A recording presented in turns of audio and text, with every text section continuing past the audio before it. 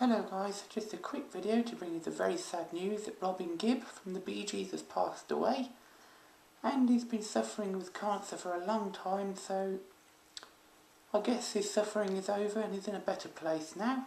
And I was a huge Bee Gees fan, so I'm quite upset over this news, but as I've said, he won't be suffering anymore and I'll just give my best wishes to his family.